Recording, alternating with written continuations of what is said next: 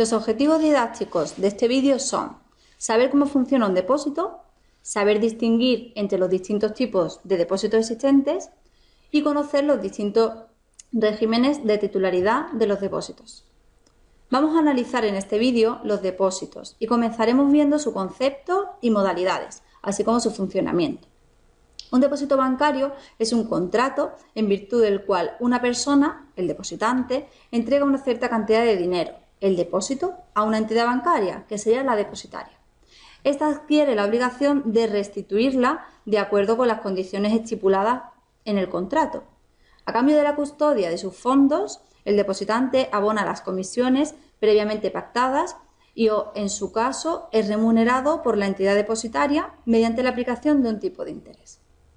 El depositario podrá asignar libremente a inversiones los fondos recibidos, Existen dos modalidades básicas de depósitos bancarios.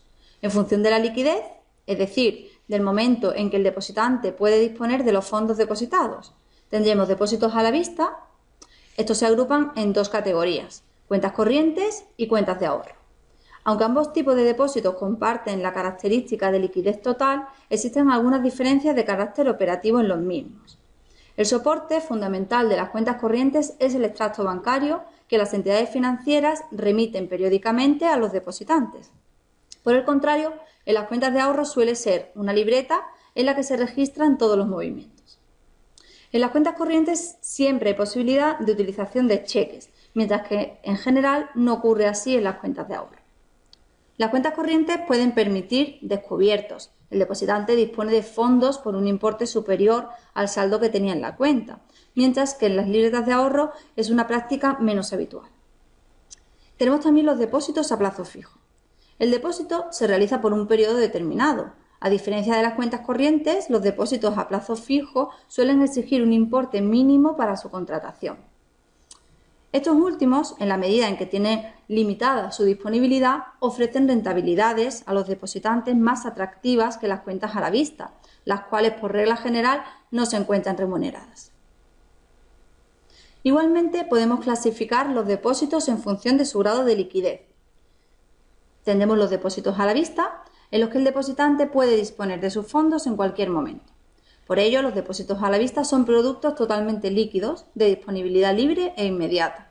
El titular del depósito puede hacer uso de sus fondos mediante la retirada en efectivo en la propia sucursal donde tenga el depósito, a través de un cajero automático o bien mediante un cheque o transferencia. Los depósitos a plazo fijo.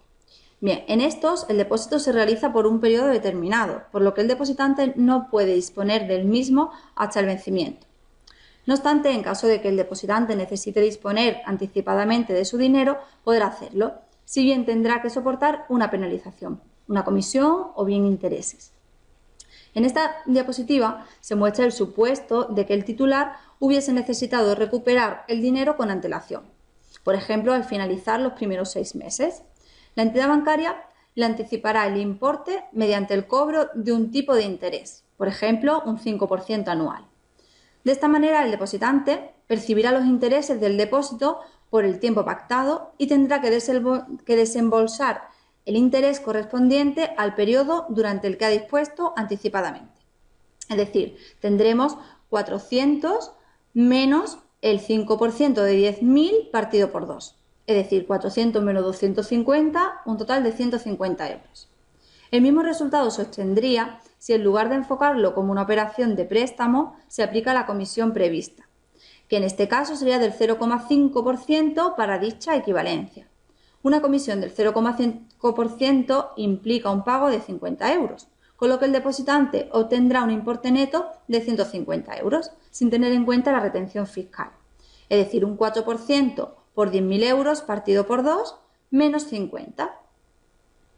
Además, será importante tener en cuenta la posibilidad de efectuar disposiciones parciales, anticipadas y no solo cancelaciones totales, las cuales pueden conllevar comisiones o el devengo de intereses deudores para el cliente, que minorarán la rentabilidad final. Por otro lado, la cancelación de un depósito a la vista resulta sencilla. Simplemente se requiere la presencia del titular o de los titulares de la cuenta, quienes se deberán acreditar como tales, indicando al personal de la entidad financiera su deseo de cancelar la cuenta a la vista. a la cancelación, la entidad financiera procederá, en su caso, a liquidar los intereses pendientes, entregándoselos al cliente o clientes tras la firma del correspondiente documento acreditativo de la cancelación. A la hora de contratar un depósito, también es preciso considerar aspectos relacionados, con la titularidad. Como hemos indicado, un depósito bancario es un contrato firmado entre el depositante y el depositario. Dependiendo de la legislación del país, las personas con capacidad para obligarse o con capacidad de contratar, así como las personas jurídicas, podrán ser titulares de un depósito. Un depósito puede tener, por tanto, tanto un único titular, sería titularidad individual, como múltiples titulares, cotitularidad. En caso de cotitularidad, será necesario indicar a la entidad financiera el régimen de cotitularidad que se haya acordado entre los múltiples titulares de la cuenta, entre los cotitulares. Si la cotitularidad es indistinta, todos los cotitulares pueden disponer del depósito por sí solos. Por el contrario, si la cotitularidad es mancomunada, se requerirá, según hayan decidido los cotitulares, la firma de todos o algunos de ellos para poder disponer del depósito a la vista.